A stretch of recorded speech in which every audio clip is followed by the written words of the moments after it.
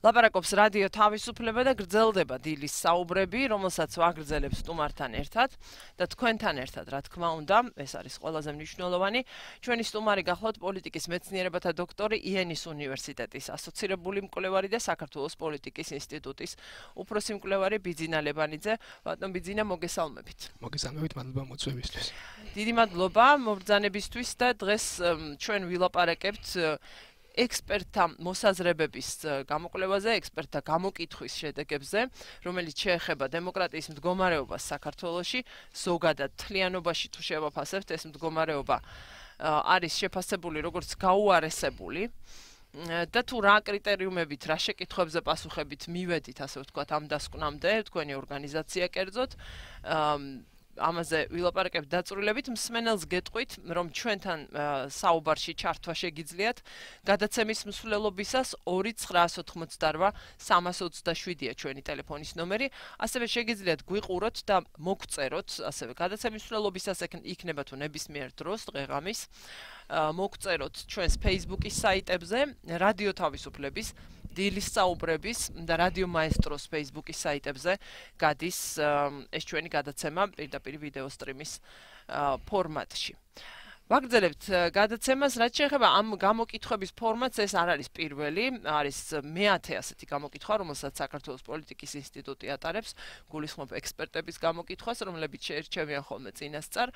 ეს გამოკითხვა თავად გამოკითხვა შედგა 6-დან 20 ნოემბრის ჩათვლით და 23 ექსპერტი, ქართველი და უცხოელი ექსპერტი, პოლიტიკური ანალიტიკოსები, პოლიტიკის ანალიტიკოსები, დიწილად პასუხობდნენ შეკითხვებს საქართველოსში არსებულ მდგომარეობაზე, პოლიტიკურ პროცესებს შეეხებოდა ეს და ასევე დემოკრატიის მდგომარეობას.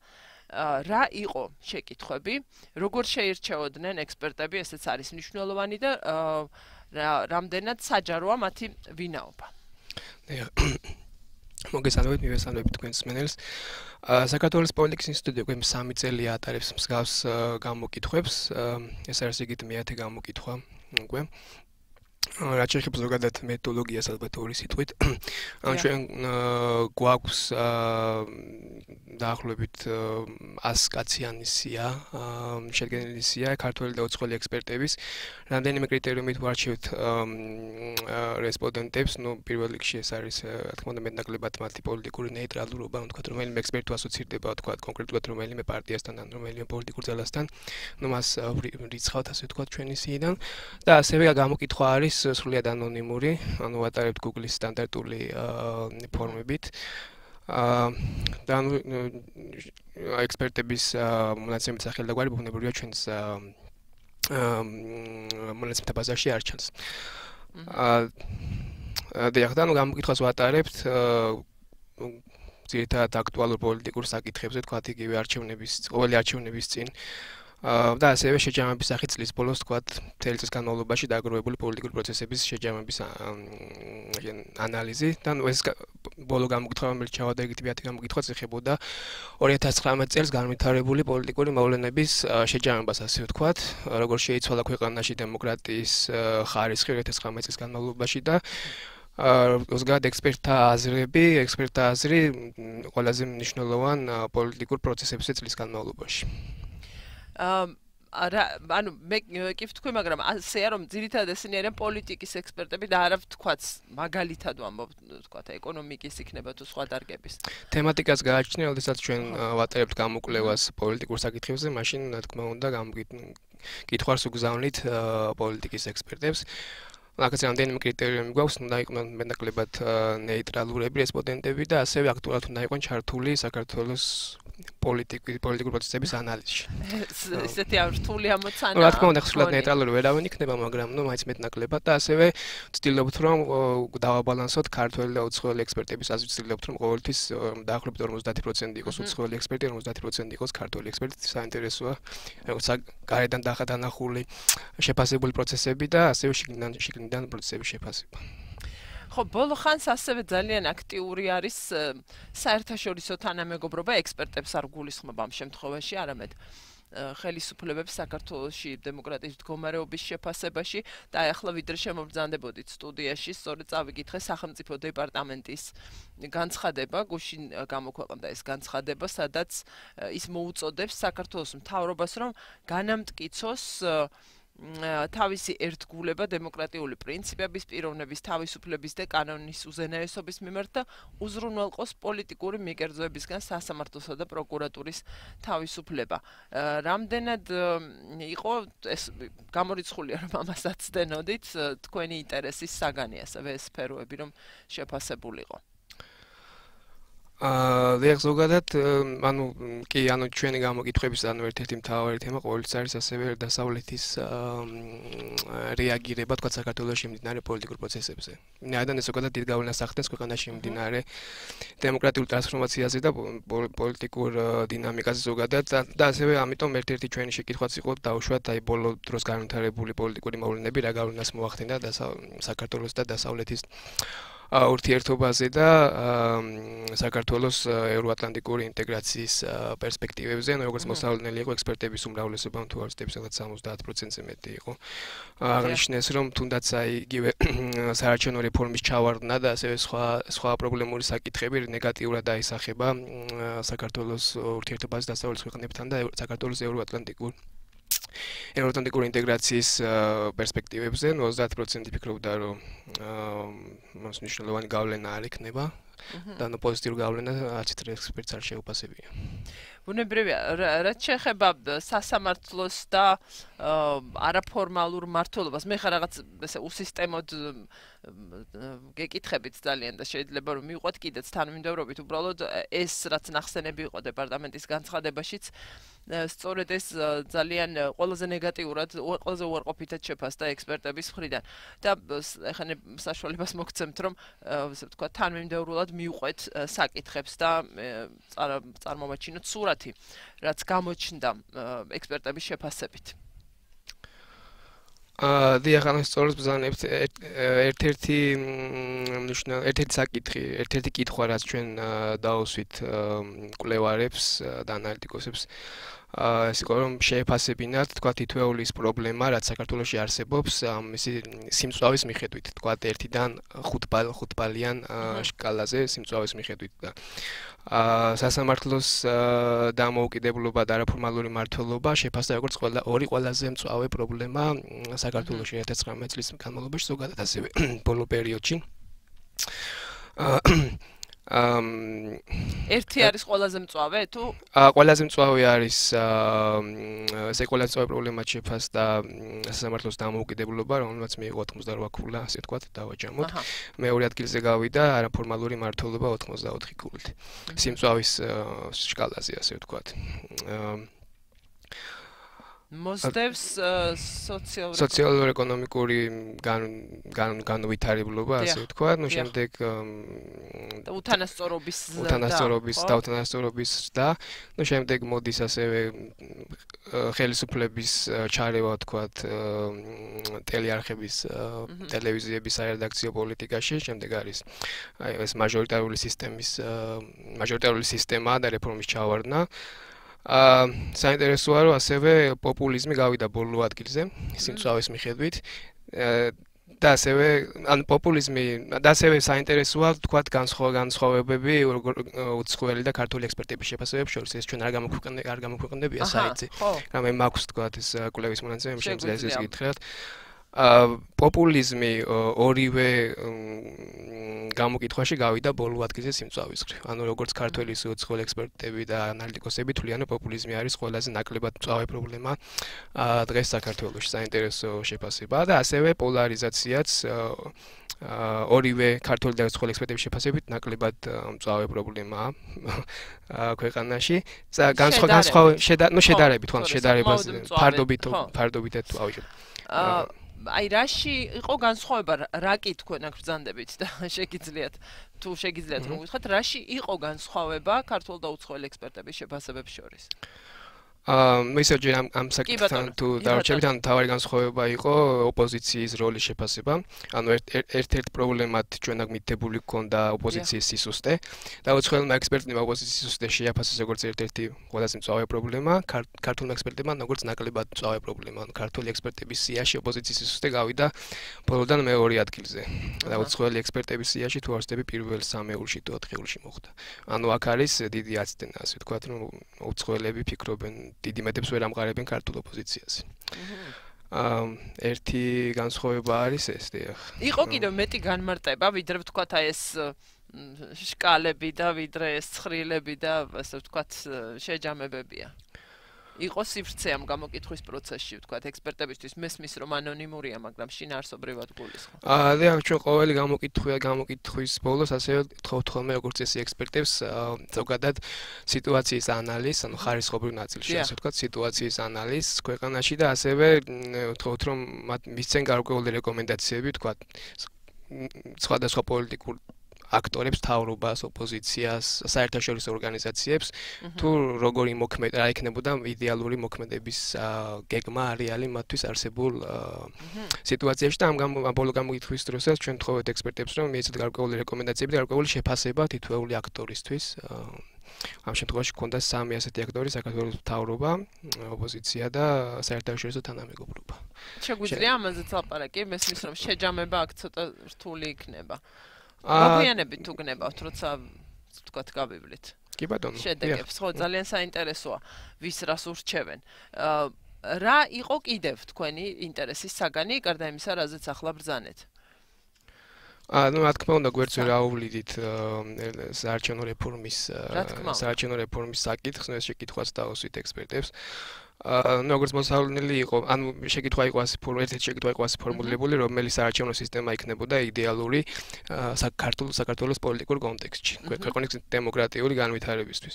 როგორც მოსავლელი იყო, დიდი დიდმა უმრავლესობამ აა ხარ დაუჭირა სრულად პროპორციულ სისტემას, ანუ რაც იყო თქვა, ჩავარდნილი რეფორმის მიზანი. ანუ რო შევაჯამოთ ორივე ქართველი და უცხოელი ექსპერტების პასუხები 75% ფიქრობს რომ სრულად პროპორციული სისტემა იქნებოდა ყველაზე უფრო სასარგებლო საქართველოს დემოკრატიული განვითარებისთვის. აა ასევე სრულად მაჟორიტარულ სისტემას დაუჭირა მხარი 80%-მა. აა გერმანულ მოდელს 9%-მა. ეგრეთ წოდებულ. ეგრეთ წოდებულ გერმანულ მოდელს დიახ. დღევანდელ დღეს რაც გვაქვს ანუ შერეული სისტემა, არც ერთმა ექსპერტმა არ მისცა დადებითი შეფასება 0.0% მიიღო და ნუ დანარჩენი აა 4% კიდევ სხვა 13% გადანაწილდა სხვადასხვა სისტემის სხვადასხვა შემოთავაზებებს. აა და კიდევ მეორე მეორე შეკითხვა დაუსვით ასევე რაც შეეხება საარჩევნო სისტემის რეფორმას თუ რა იყო ხელისუფლების თავარი мотиваცია, თქვათ, ან მართველი ძალის თავარი мотиваციამ რეფორმის ჩავარდნისა. ნუ აქაც დიდმა უმრავლესმა 97%-მა დაასახელა 2020 წელს არჩევნების წაგების შიში, ასე თქვა და მხოლოდ 4%-მა გაიზიარა ეს მთავრობის მიერ მოწოდებული ნარატივი, რომ რეფორმა ჩავარდა მაჟორიტარების წინააღმდეგობის გამო.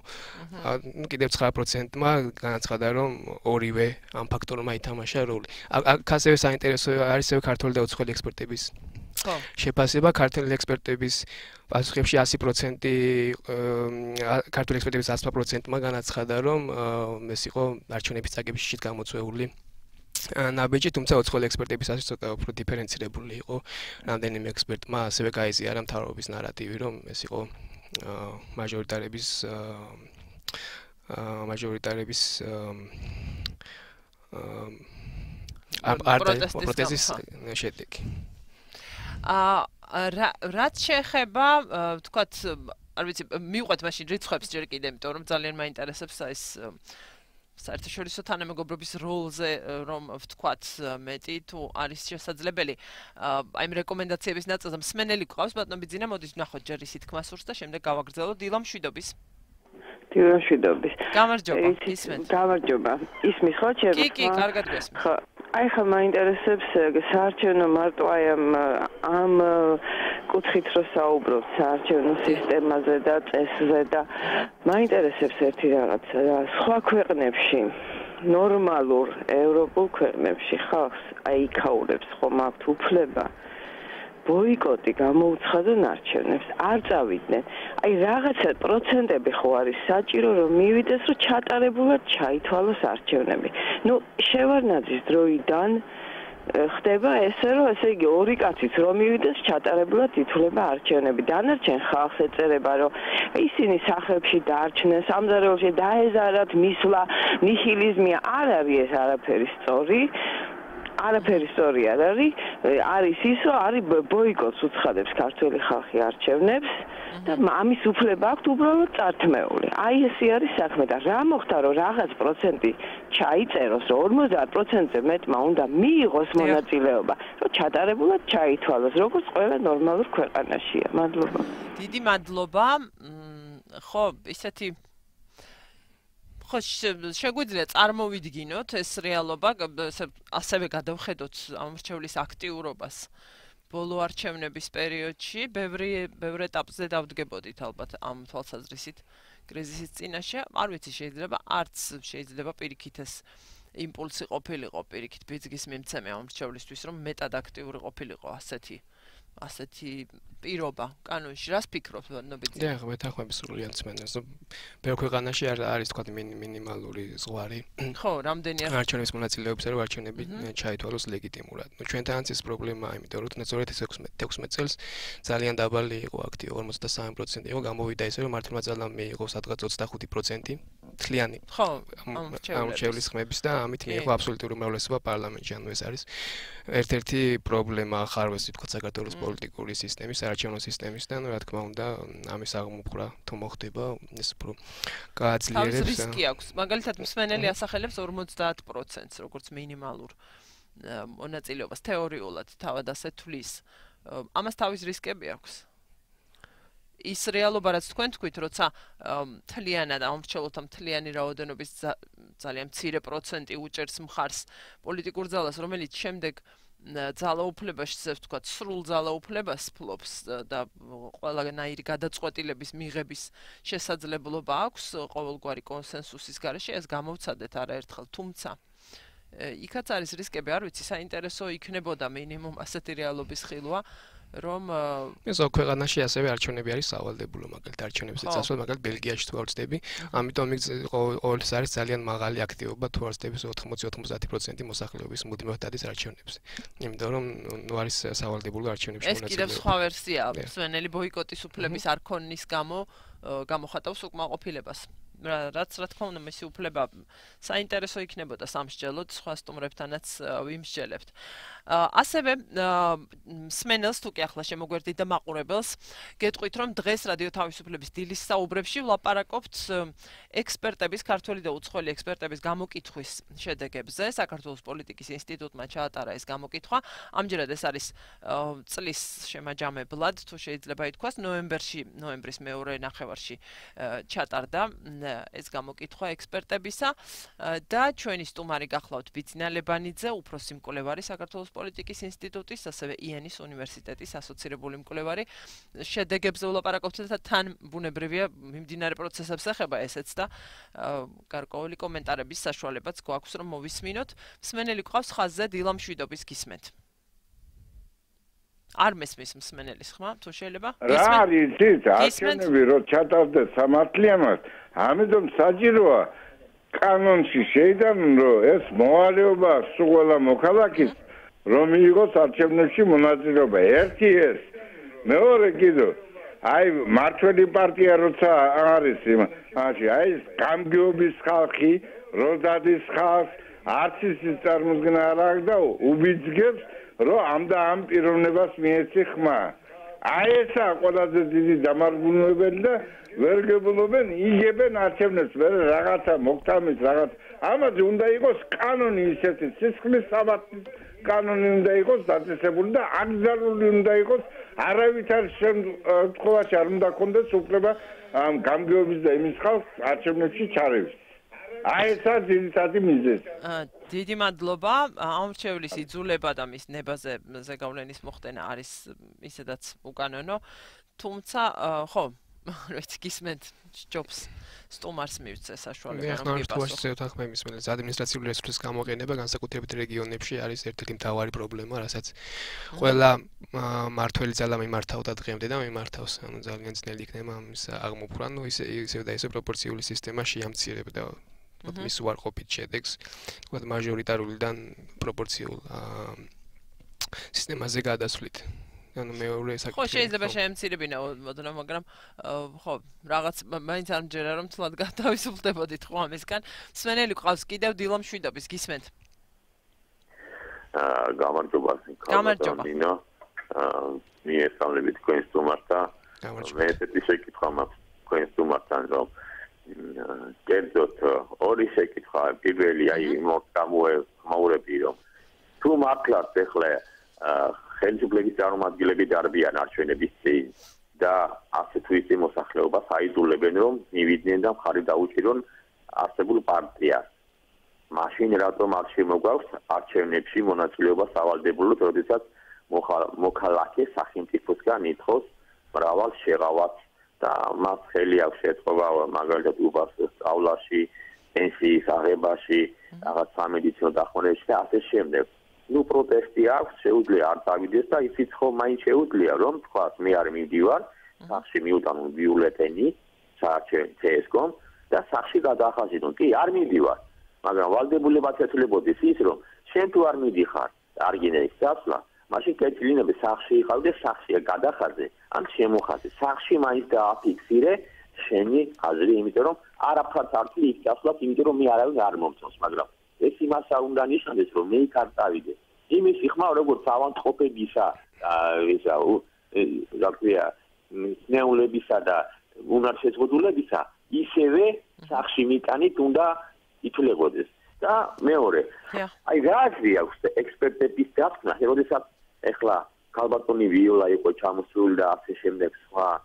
ჩვენი ახალი ხელისუფლების ხარდაჭერებისა რომლებაც ეს რომ ჩვენ ივანიშვილის ხარი იმდენ დაუჭირეთ რომ მას უფრო კაი პროგრამა ჰქონდაო და ვინედონებით რომ ის თავის სიტყვას შეასრულებდა ისე როგორც ის იყო მულტიმილიარდელი მაგრამ როგორც აღმოჩნდა არა შეძამ წერი შესარა იყო გვარი მისიო ხო?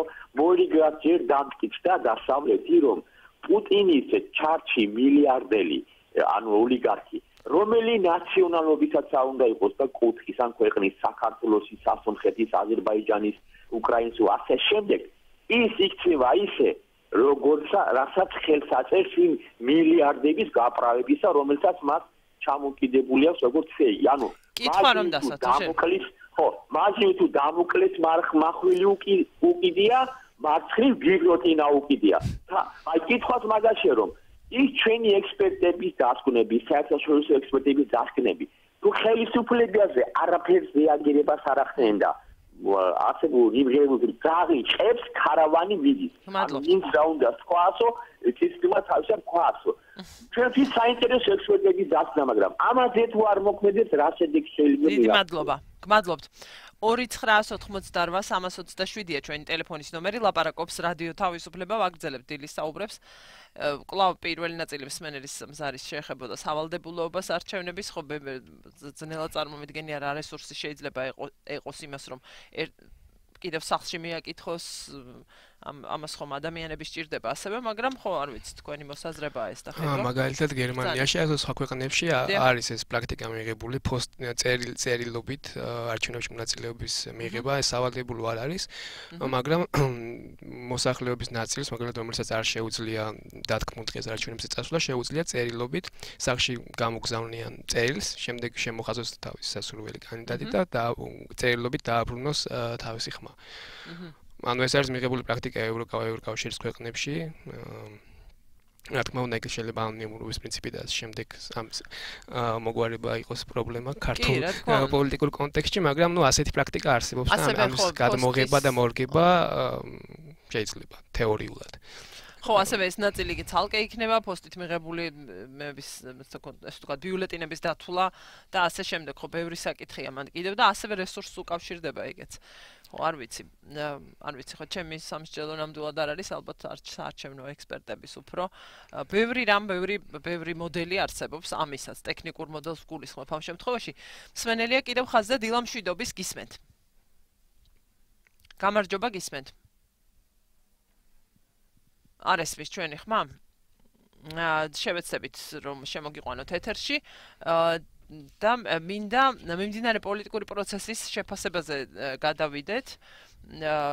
რასაც ასევე ეხებოდა ეს გამოკითხვა რამდენადაც ვიცი. აჰა, არის მსმენელი დილამშვიდობის. გამარჯობათ. გამარჯობა გისმენთ.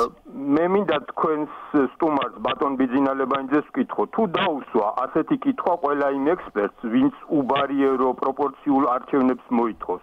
რა უარყოფითი მახასიათებელი აქვს პროპორციულ არჩევნების სისტემას? და კიდევ ვინც უბარიერო პროპორციულ არჩევნებს მოითხოვს, ჩასულან რომელიმე ქვეყანაში, სადაც უბარიერო პროპორციულ არჩევნების შედეგად მოქმედი პარლამენტი წარმატებით მუშაობს? მე აქვე გეტყვით, ასეთ ქვეყანა არ არსებობს. ალიო. დიახ, დიახ. ჩვენ როგორც ყოველთვის უნიკალურები უნდა ვიყოთ მთელ მსოფლიოში. ახლა თუნდაც ბარიერიანი პროპორციული არჩევნების შედეგად მოქმედი პარლამენტის მქონე ქვეყნებში ჩავიდნენ და დაითვალონ, რამდენი სამთავრობო კრიზისი გადაიტანეს სამ ქვეყნებმა. თუნდაც ბოლო წლებში, გინდაც იტალიის, ისრაელის სამთავრობო კრიზისების ისტორია გამოიკულიო. ნიკითხონ, რა დღეში აგდებს ეს კუთხური ეთნიკური რელიგიური ნიშით შემდგარი პარტიები ასეთი ქვეყნების პროპორციული წესით არჩეულ პარლამენტებს და მთავრობებს? ჩავიდნენ მაგალითად ბულგარეთში პროპორციულ წესით არჩეულ პარლამენტის რა შანტაჟისა და ტერორის ქვეშ ყავს მაგალითად თურქულ ეთნიკურ პარტიას მთელი ქვეყანა ასეთი პარლამენტი მხოლოდ ერთეროვან ხას უსვამ ერთეროვან გერმანიაში მეტნაკლებად მუშაობს ისიც უამრავი სამთავრობო კრიზისის პირობებში პროპორციული საარჩევნო სისტემა უბრალოდ აიძულებს საზღვრისპირა რეგიონებს რომ შექმნან კუთხური ეთნიკური და რელიგიური ნიშნის მქონე პარტიები ასეთ რეგიონებს სხვა შანსს არ უტოვებს რომ ქვეყნის პარლამენტში წარმომადგენელი ხავდეთ. რა მოძდებს ამის მერე ამ ამბავს ხო ხო იცით თქვენ არა? აიო. დიდი მადლობა. კი გისმენთ უბრალოდ რომ დაასრულოთ. ძალიან დიდი მადლობა. მე აი უბრალოდ ერთსაც გეტყვით უბრალოდ რომ ასე მაჟორიტარების ადგილს სწორედ ეს კუთხურ ეთნიკური რელიგიური ნიშნით შექმნილი პარტიები დაიკავებენ. არის ფიქრობთ რომ ისინი იქნებ. ისინი დაამტკიცებინებენ ბიუჯეტს მართულ პარტიას, რისი ისისა და სამაგიეროდ ავტონომიის უფლებებს მოითხოვენ. აი ეს მოხდება და არა ის რაც ამ მათ გონიათ რა ქვია ოპოზიციურ პარტიებს და აღერ დაინახავთ თუ ეს არ მოხდება. ეს იქნება უკან გადად დიახ და ეს იქნება მე უკან გადადგმული ნაბიჯი. ბატონო? დიდი მადლობა, დიდი მადლობა. გმადლობთ მოსაზრების გაზიარებისთვის და ასევე შეკითხვა იყო თუ კითხეთო იმ ექსპერტებს, ვისაც მოსწონთ აი ამ აი ამ რისკებზე და თუ იციან ამ ყველაფერზე. მადლობა შეკითხვისთვის. სტატისტიკურ ნაწილში არ ყოფილა შეკითხვა, თუმცა რამდენიმე ექსპერტმა გამოთქვა ზუსტად მსგავსი მოსაზრება რეკომენდაციების ნაწილში, ზოგადად დავით ახმემის მიერ, თუმცა არ არის აუცილებელი პროპორციული სისტემა მაინც და მაინც იყოს უბარიერო ეს ხომ თავრობის შემოთავაზება შემდეგ რომ გაიგეთებინა თუ უბარიერო ანუ პროპორციულ სისტემაშიც თქმის ქვეყნების უმრავლესობაში სადაც არსებობს პროპორციული სისტემა ასევე არსებობს ბარიერიც. მინიმალური ბარიერი. ну კი რა თქმა უნდა პროპორციულ სისტემას აქვს თავისი მინუსები და ერთ-ერთი რაც მსმენელმაც ახსენა ეს არის ფრაგმენტაცია პოლიტიკური სპექტრის იგივე იტალიის მაგალითზე მუდმივ მუდმივად კრიზისი კრიზისი კრიზისი კრიზისი შემყოფება ფაქტიურად იტალიის პოლიტიკური სისტემა, ახლა ამდენად არის პროპორციული სისტემის ბრალი სხვა საკითხია, თუმცა ასევე არის მოსუხნები, რომლებიც შესაძაც არის პროპორციული სისტემა, მაგრამ ასევე აქვთ მეტნაკლებად პოლიტიკური სტაბილურობა, იგივე თქვა სკანდინავიის ქვეყნებში, ერთ-ერთი ყველაზე სტაბილური პოლიტიკური სისტემები აქვთ, მიუხედავად იმისა, რომ პროპორციული საარჩევნო სისტემები აქვთ. ანუ მხოლოდ პროპორციულობა და ბარიერო ბარიერის ქონა, ანუ ბარიერობა არ განაპირობებს პოლიტიკურ ვითარებას და რისკებს, თუმცა რა თქმა უნდა, არც აზღვევს და არც განაპირობებს. და ერთ-ერთი, ასე ვთქვათ, ერთ-ერთი გამაპირობებული არგუმენტი მხარდამჭერი ამ სისტემის იყო ისიც, რომ მეტ მეტ ჯგუფს, მეტ პოლიტიკურ ჯგუფს მიეცემოდა საშუალება ყოფილიყო წარმოქმნილი პარლამენტში ამ მომრჩეველთა მეტი პროცენტის ნება იქნებოდა გამოხატული პარლამენტში ამ გზით ეს იყო დასახელებული დადებითი მხარე. შეიძლება კუთხურ კუთხურ ეროვნულ და ასე შემდეგ კი მაგრამ ამ რისკების საზღვრად შეიძლება თქვა კანონმდებლობის მიხედვით მე პუნქტები შეტანა რომ აიგზავნოს გავსი პარტიების შექმნა. ეს ბევრ ქვეყანაში არის ბევრ დემოკრატიულ ქვეყანაში არის აკრძალული გავსი პარტიების შექმნა და ამის მოგვარება შეიძლება მარტივად კანონმდებლობით აჰა და მნიშვნელოვანი საკითხი და თემა იყო პოლიტიკური აქტორების, პოლიტიკური მონაწილეების როლის შეფასება ამ პოლიტიკურ კრიზისებში. ხომ? სწორად გამოვხატე. ინგლისურად არის გამოქვეყნებული ეს გამოკლება ჯერჯერობით და ქართულადაც დაიდება დღეს ან ხვალ საიტით. ხო, ასე რომ გექნებათ საშუალება დაწრულებით გაეცნოთ. გონი ჩემს შეკითხვას მსვენელი მსვენელი ყავს კიდევ და დავუბრუნდებით ასევე ამ შეკითხვას კი არა გავაგრძელებ. დილამშვიდობის გისმენთ. გამარჯობათ. ეხლა რაშია საქმე? ყველანაირი არჩევნები არის ჩვენთან საქართველოში. დიახ. შეიძლება რომ ჩავატაროთ, მაგრამ აქ რაშია საქმე? რატო ვითხოვთ პროპორციულ სისტემას? იმიტომ ვითხოვთ პროპორციულ სისტემას, რომ ამ შემთხვევაში არ იქნება საჯაროში მომუშავე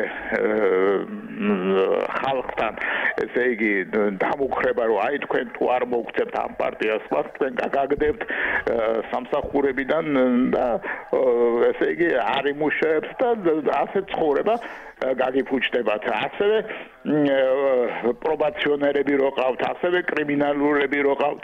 ამიგეთ იმასაც ეუბნებიან რომ თქვენ უნდა მოხდეთ ჩვენ ხმა. და აი ესეთი ქაოსი რომ არის?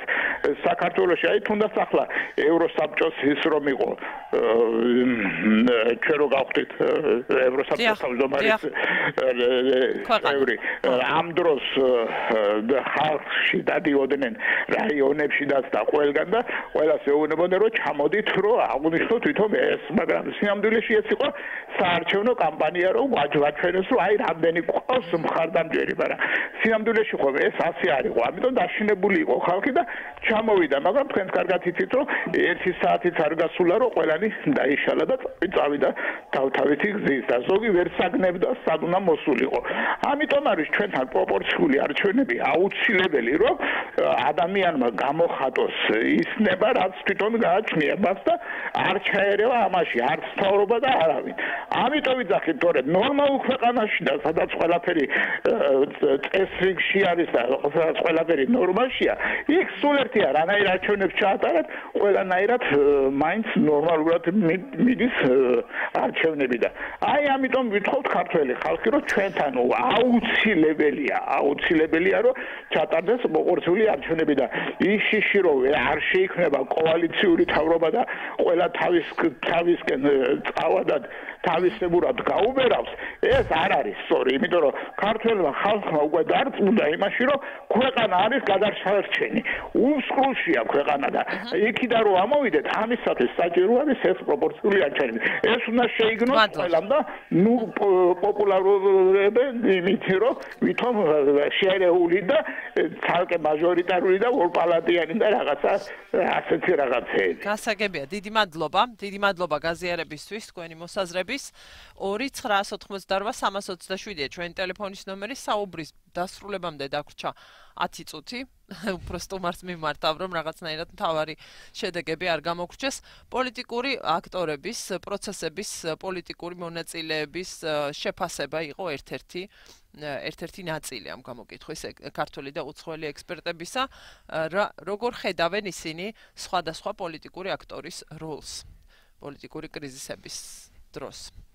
დიახ, ანუ ერთ-ერთი შეკითხვა იყო ეს, რომ შეეფასებინათ ამ ნიშნულოვანი პოლიტიკური აქტორების და ინსტიტუტების მოქმედება იმ ბოლო რამდენიმე პოლიტიკური კრიზისის განმავლობაში, ასევე ერთი ერთიდან 5 ბალიან სკალამდე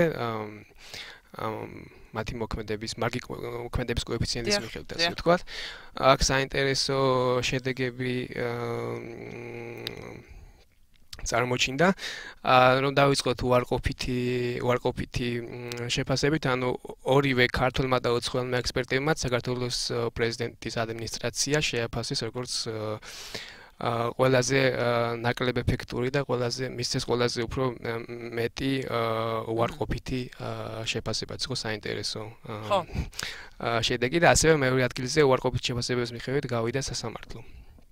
ასევე ალბათ რეფორმ რეფორმ ჩავარდნილი რეფორმების შედეგად სასამართლოს შემდეგ მოდის ქართული ოცნება მთავრობა. აა შემდეგ მოდის პატრიოტთა ალიანსი, რომელმაც შედეგი თუ ამბობს სიდიდით, ამორყოფით შედეგი. კი, თუმცა უნდა დავაჯამოთ მაინც პატრიოტთა ალიანსი უსწრებს ნეგატიური უგარყოფით შედეგებით საქართველოს მთავრობას და ქართული ოცნების მართლ ძალას. ანუ საინტერესო იყო მართლ ძალა მაინც გაასწრო რამდენიმე ინსტიტუციას უგარყოფითი შეფასებების მიხედვით. შემდეგ პოლიცია და შემდეგ კონდა ყველაზე მეტი დადებითი შეფასება? აა ბოლოსში მხედავ. კი, დადებითი შეფასება საინტერესო, ან ყველაზე დიდი დადებითი შეფასება კონდა ახალგაზრდულ მოძრაობებს. რაც ასე თქვა აღმოცენდა ბოლო რამდენიმე წლის განმავლობაში და იყვნენ სათავეში ბოლო ორი საპროტესტო მოძრაობისა.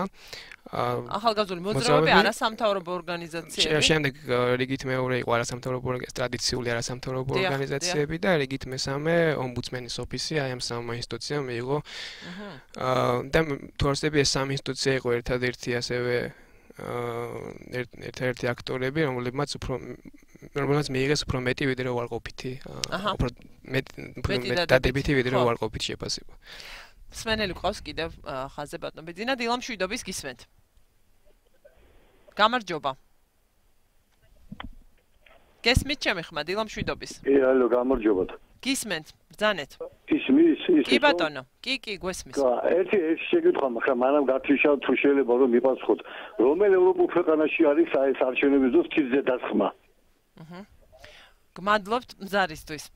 ორი ჯერ არ გათიშოთ აა კი ბატონო. კი. რომ იც ვიცით რომ ევროპულ ქვეყანაშია ციცე და სხვა მე არ ვიცი. აა გერმანიაში მიიღე არჩევნების მონაწილეობა და არა 10 ცე და სხვა ნამდვილად ვიცი. გერმანიაში არ არის რომ ქვეყანაში ნამდვილად ვერ გეტყვით მე არ ვარ ექსპერტი მე ვიცი რომ მე ვიცი რომ ქვეყანაში არის მაგრამ სადაც მაკედონია და ალბანეთი თუ სადღაც მეტი ასა იცით რა მინდა ვთქვა? აი ქართულები ძალიან ეგეთი დაუნახავი ხალხი ვარ რა აი რაღაცა სასულიერო პირი არ მიდე ხვაიდე თუ ხარისხი თქვა და მიდი იქ არაკადრებენ ძამე და გამოდის ისე არჩევნებს და ხალხი რომ მიდი თქვენ ბარანებო მიდი თქვენ მიდი მიისხი მოისხი იმისი კიდე წასულხა და ამას არ ვამბობთ რაღაცო თუ კი საფრანგეთი და რომ ძალიან ვიკაჩები თუ ევროპა და ისა ვამბობ ბრიტანეთი საფრანგეთი რა ალბანეთის დონეზე და ხმას რატო არ ვიღეთო თუ კი ის კაცი არის ხავს ამ თიზე ხო? და ის არის წინამძღვარი. მაშინ მაგალითი იმის გავიღებ და არც მე დავისხა მაგაზე არ წავალ არჩევნებზე ნო დანახვა უნდა ვიცოდეთო თუ კი ხმა მოიგეთ რა რა ბარანები ვითავოთ იმენა ბარანები აი რუსულად რა კონკრეტულად დიდი მადლობა მესმის ხო მესმის როგორ ანუ გასაგებია რაც იწევს თქვენს პროტესტს არ მოგწონთ ეს პროცედურა თუმცა მას ძალიან კონკრეტული ტექნიკური დანიშნულება აქვს და და უკავშირდება ერთ-ერთი ერთ-ერთი ინსტრუმენტია გაყალბების თავიდან ასაცილებლად ხელმეორედ ხმის მიცემის და ასე შემდეგ ყველა ქვეყანას თავის გამოცდილება და თავისი ცოდვები აქვს არჩევნებს გულისხმობ ამ შემთხვევაში. და ამ გამოცდილებამ გვაჩვენა რომ ეს რისკები არსებობს და ამისათვის მოიფიქრეს ეს ინსტრუმენტი. დარწმუნებული ვარ აბსოლუტურად რომ ეს საქართველოსში არ მოფიქრებულა აგერ თქვენც დაასახელეთ. სხვა ქვეყნები ალბათ იქაც ალბათ იქაც ეს პრობლემა არის სწორედ და ეს გამოცდილება ჰქონდათ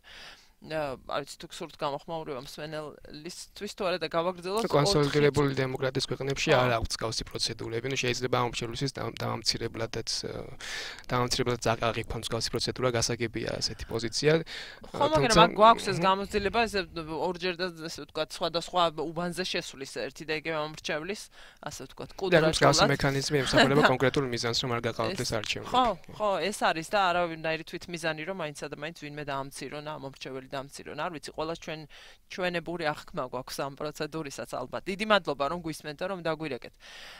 და გავაგრძელოთ, რასაც მოვასწრებთ. ახლა 3 წუთი გვჭება. ზუსტად რაც არის ყველაზე მნიშვნელოვანი მოდით გადავიდეთ იმ რეკომენდაციებზე რადგან ამ ასე ვთქვათ ამ გამოკლების ნახვის საშუალება მალე მიეცემა ჩვენს მსმენელსა და მაყურებელს თქვენ საიტზე რა იყო ძირითადი რეკომენდაციები უბრალოდ ყველაზე მეტად რაც დაგამახსოვრდათ ექსპერტებისგან ესე იგი რეკომენდაციები ვთხოვეთ სამი აქტორ სამ სამ აქტორთან მიმართებაში ხელისუფლება ოპოზიციური პარტიები და საერთაშორისო თანამეგობრობა. ოპოზიციური პარტიები პარტიების შემთხვევაში მთავარი რეკომენდ უნივერსალური რეკომენდაცია რომელიც თითქმის ყველა ექსპერტმა აღნიშნა თავის ტექსტში ეს იყო ძალების კონსოლიდირება და კოალიციის წინასაარჩევნო კოალიციის შექმნა. განსაკუთრებით იმისთვის რომ თუ დარჩება დღეს არსებული საარჩევნო სისტემა როგორმე დაუპირისპირდნენ მთავრობის მაჟორიტარებს რეგიონებში და ასევე დედაქალაქში. ეს იყო იყო ასევე სხვა რეკომენდაციები, მაგრამ ეს იყო ერთ-ერთი ყველაზე მთავარი რეკომენდაცია, უნივერსალური რეკომენდაცია, რომელიც ყველა მაგნიშნა თითქმის ყველა ექსპერტმა, რომ როგორმე მოახდინონ გაერთ შეძლონ გაერთიანება აა წინა საარჩევნო. თუ მთავრობას რაც შეეხება, ნუ აქ როგორც მოსაოდნელი იყო აა ზე მოუწოდებენ რეფორმების გატარებისკენ და ასევე იმისკენ რომ გადავიდნენ ხელისუფლების გადაბარების რეჟიმში და მინიმუმ ან მინიმუმ ერთ-ერთ სცენარად განიხილონ ხელისუფლების გადაბარების რეჟიმი. აა ხელისუფლების გადაბარების სცენარი შემდგომი საარჩევნო შემდგომი არჩევნების პერიოდში და ასევე ნუ მოახდინო კონცენტრირება სოციალურ-ეკონომიკურ რეფორმებზე იმის გამო დღეს ძალიან ძიმე სოციალური ფონია. აა რაც შეეხება საერთაშორისო თანამეგობრობას, აქ ექსპერტები როგორც ქართველი ისე უცხოელები მოუწოდებენ მეტი სოციალ მეტი პოლიტიკური წნეხისკენ ევროკავშირის და ამერიკის შეერთებულ შტატებს განსაკუთრებით. აა სანქციები ახსენა ვინმე ბოლო დღეებში არის ესეთი კითხვებიც იყო ჩვენ მსმენელისგანაც და დიახ სანქციებიც იყო ნახსენები რამდენიმე ქართველი ასევე უცხოელი ექსპერტის მიერ რომ დასავლეთ დასავლეთმა შეშფოთების გამოხატვიდან ასე ვთქვათ გადავიდეს უფრო ქმედით ნაბიჯებამდე და ასევე სანქციებს თუ არ დაუწესებს მინიმუმ აი სანქციები შემოიტანოს თავის რიტორიკაში მთავრობის საქართველოს ხელისუფლებასთან ურთიერთობის პროცესში. ალბათ ამას Wall Street Journal-ის რედაქციო წერილიც სადაც ეს იყო ნახსენები. ასევე შეკითხვა იყო ერთ-ერთი კონკრეტულ პოლიტიკურ ძალაზე, ახალ პოლიტიკურ ძალაზე, ლელოს ლელოს გულის ხმობ, მაგრამ ორიოდე დღის წინ, ასე ვთქვათ, ჩამოყალიბდა პოლიტიკურ პარტიად და შეფასებები გაიყო. როგორც ესე ვთქვათ, მესამე მესამე ძალა ამ პოლარიზებულ ვითარებაში შეფასებები, ანუ მოლოდინები იყოფა ამ ჯგუფის მიმართ, ხო? დიახ, ნუ ლელოს სპეციალურად გითხეთ იმის გამო, რომ ახალი პოლიტიკური მოთამაშეა ქართულ პოლიტიკურ სივრცეში და ექსპერტების აზრით თქმით, შუაზე გაიყო, ნახე ნახევარი ფიქრობს, რომ ლელო თუ თქვა თანმიმდევრულად მისდევს საკუთარ პოლიტიკურ პროგრამას და პოლიტიკურ ნიშას იპოვის, შეიძლება თქვა ჩამოყალიბდეს ერთ-ერთ მესამე ძალა და ამ პოლარიზებულ პოლიტიკურ სივრცეში, თუმცა ექსპერტების ნაწილი ასევე ფიქრობს, რომ ლელოს გაუჭირდება თავისი ნიშის პოვნა, ნუ ერთი აი იგივე პოლარიზაციის გამო და ასევე იმის გამო, რომ თქვა მის დამფუძნებლებს აქვს ასე ვთქვათ აა ესეთი ნაკლებად პოზიტიური ბექგრაუნდი გულისხმობ საბანკო სექტორიდან პოლიტიკაში გადასვლას, რაც შეიძლება საქართველოს მოსახლეობის ნაწილისთვის იყოს ნეგატიური, ეს ნეგატიურ ფონს. ძალიან დიდი მადლობა უნდა გითხრათ მობრძანებისთვის. მადლობა თქვენ. დასრულდა ჩვენი გადაცემა. დიდი მადლობა ჩვენს მაყურებელსა და მსმენელს. ბოლო 1 საათის თითქმის 1 საათის განმავლობაში რადიო თავისუფლების დილის საუბრებს უსმენდით. ჩვენი გადაცემის ჩანაწერების ნახვა შეგიძლიათ ასევე ჩვენს საიტებზე. მე გემშვიდობებით ხვალამდე. თქვენ კი უკაცრავად შეგიძლიათ რადიო თავისუფლების სხვა გადაცემების მოსმენა რადიო მაესტროს სიხშირეებზე დღის განმავლობაში 19 საათზე საღამოს თავისუფლება 23 საათზე კი შეგიძლიათ უსმინოთ ეხო კავკაზას რადიო თავისუფლების რუსულენოვან გადაცემას დიდი მადლობა ხვალამდე ლაპარაკობს რადიო თავისუფლება